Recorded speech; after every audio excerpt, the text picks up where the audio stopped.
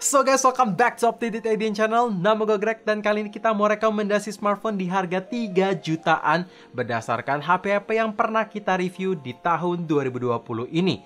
Gua nggak cuma kasih rekomendasi aja, tapi beserta 5 alasan faktor penting kenapa bisa kita rekomendasikan ke kalian. Penasaran? Langsung aja tanpa basa-basi lagi, let's check it out! Rekomendasi smartphone pertama adalah Poco X3 NFC. Walaupun HP ini keluar di penghujung tahun, tapi bisa dengan sangat aman kita rekomendasikan. Alasan pertama karena layar sudah mengadopsi refresh rate 120Hz. Gua tidak menemukan kompetitor lain yang menggunakan refresh rate setinggi ini di harga segini tentunya. Walaupun adaptif, tapi 120Hz-nya masih bisa berasa kok, dan mulus tentunya. Terus, desain menggunakan dot display jadi kelihatan kekinian dan sudah ada proteksi Corning Gorilla Glass 5. Jadi secara looks, layarnya juga udah kekinian. Kedua, performanya nggak main-main. HP ini adalah HP pertama di Indonesia yang resmi menggunakan chipset Snapdragon 732G dengan konsistensi FPS yang diberikan sangat-sangat bagus. Sampai-sampai kita udah buat video gaming test, main CODM, main PUBG, Genshin Impact, semua bisa dilibas dengan baik tanpa ada hambatan. Buat kalian penasaran dari performa HP yang satu ini, mungkin setelah video ini berakhir kalian bisa mampir.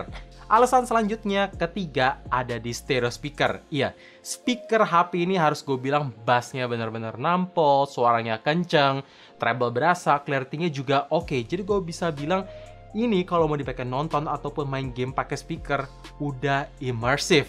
Keempat, NFC. Ya, sesuai yang diminta kalian, NFC bisa hadir di kelas ini.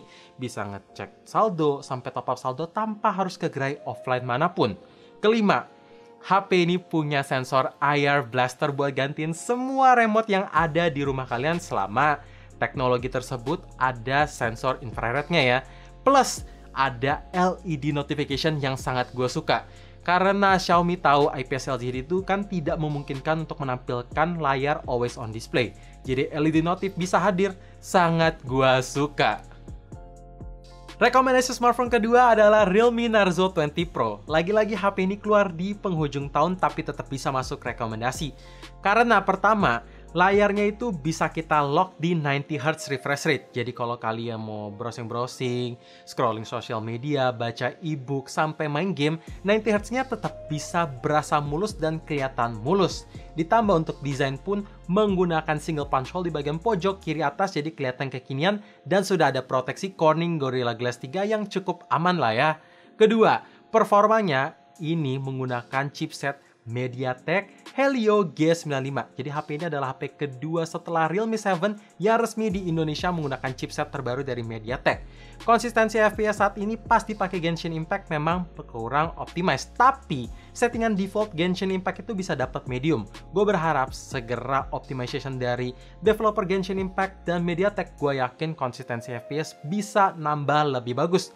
Karena di game PUBG aja, walaupun belum bisa smooth ekstrimasi di balance ultra, itu konsistensi FPS yang diberikan sangat bagus, suhunya aman, gyroscope pun juga lancar, jadi performanya udah ngebut.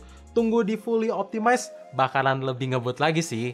Ketiga, 65 watt super dart charging yang gak akan bisa gue temuin di kelas midrange tahun ini. Iya, jadi 65 watt super dart charging itu mengadopsi dari fitur X50 Pro 5G dan Realme 7 Pro itu ngecharge dari 0 sampai 100% kayak cuma makan 40 menit aja yang sangat ngebut. Gak sampai di situ aja, brick charger 65 wattnya pun juga di-include di dalam box pembelian. Nice. Kelima, ada di kapasitas baterai 4500 mAh-nya. Ya gue tahu belum 5000 mAh, tapi bisa gue bilang ini awet walaupun layarnya itu udah gue set di 90Hz dan resolusi menggunakan Full HD+.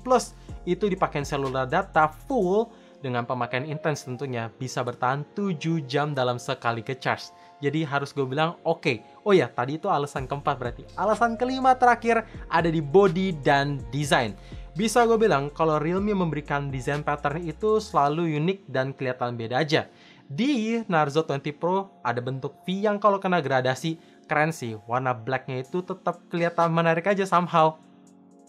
Rekomendasi smartphone ketiga adalah Oppo Reno 4F. Setelah gue cek di toko online harganya itu udah di 3 juta sekian-sekian. Jadi bisa masuk di rekomendasi segini lah ya.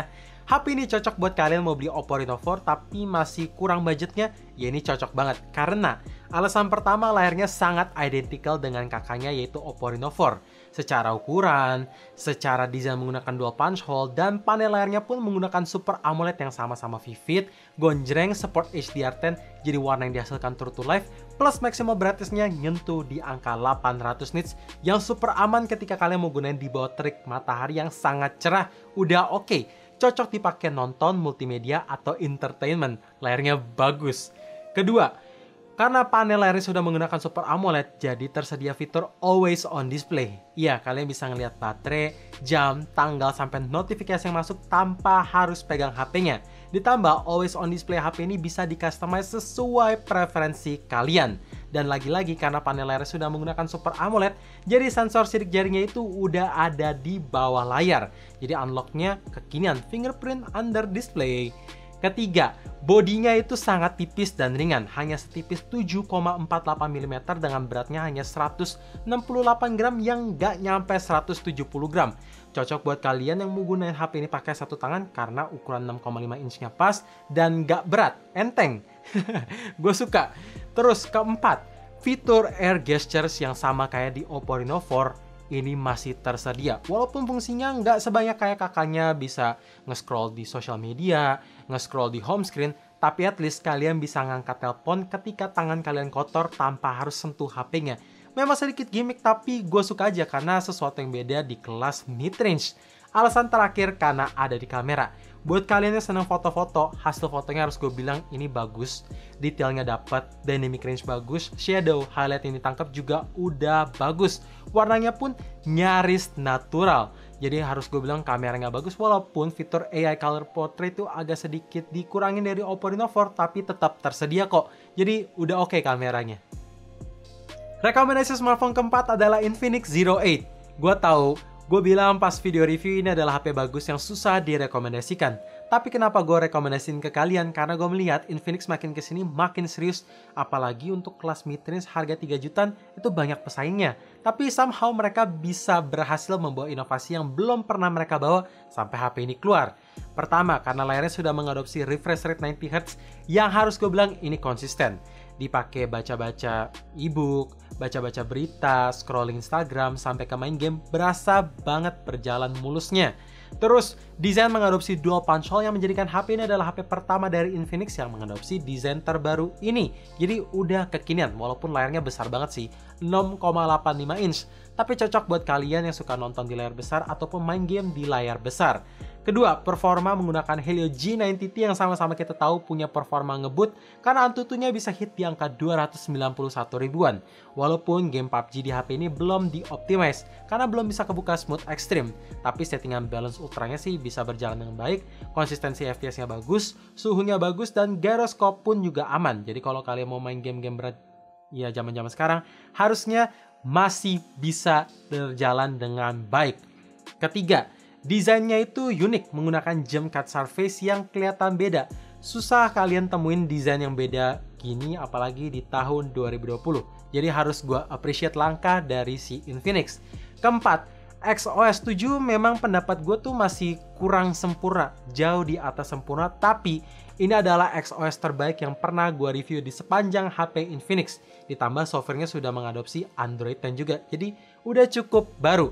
Kelima, Kameranya itu menggunakan sensor flagship yaitu Sony IMX686 walaupun belum optimized tapi gua senang sih melihat Infinix bisa taruh sensor kamera flagship di HP mid-range harga 3 jutaan.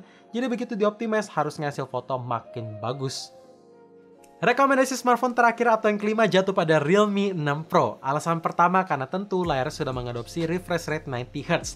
Tapi yang bikin gue suka lagi karena desain mengadopsi dual punch hole yang kelihatan keren, premium, dan beda aja pada saat itu pas di launch ya awal tahun. Jadi kelihatan keren aja.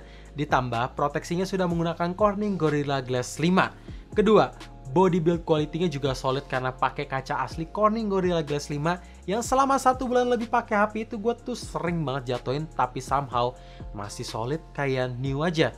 Dan untuk desain ini unik dan gak akan bisa gue temuin di tahun ini. Lightning patternnya tuh kelihatan beda, apalagi kena gradasi. Wah itu cakep banget. Gue tahu beberapa kalian ada yang kayak Nora lah, lebay lah, tapi menurut gue ini bagus dan beda aja ya untuk HP kelas mid range. Ketiga, performanya.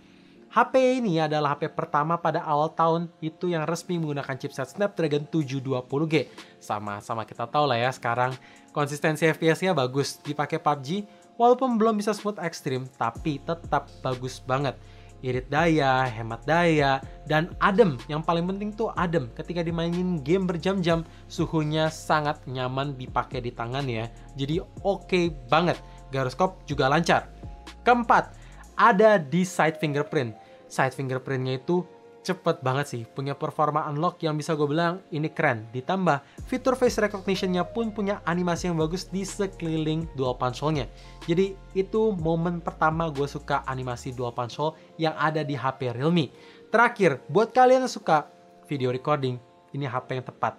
Kenapa? Karena bukan aja HP ini punya 6 lensa kamera sekaligus, tapi mau kalian record selfie di kamera depan primary lens sampai ke lensa ultrawide itu stabil. Di balik ke kamera belakang, primary lens ultrawide-nya pun juga stabil, bahkan kamera depan, kamera belakangnya support ekstra stabilisasi yang namanya Ultra Steady Pro dan Ultra Steady Max. Dan buat kalian yang suka DSLR atau kamera mirrorless look, ya ini ada live bokeh di versi videonya. Jadi background itu bisa di blur tapi kaliannya tetap tajam cocok buat kalian yang sering vlog. Anak muda harusnya iya suka sih. Video recording di HP ini tuh bagus. Jadi itu dia alasannya. So guys, itu dia 5 rekomendasi smartphone 3 jutaan terbaik di tahun 2020 yang pernah kita review. Gua nggak sabar sih di tahun 2021 HP di harga 3 jutaan bakalan lebih wah karena tahun ini aja gila banget inovasi yang dibawa, terus fitur-fitur yang nggak nyangka bisa hadir di harga 3 juta ya bisa tersedia. So, thank you for watching. Jangan lupa like dan subscribe channel ini sekaligus kalian notifikasinya juga supaya kalian tahu kapan video baru diupload. And as always, stay safe, stay healthy, dan stay updated with up to date.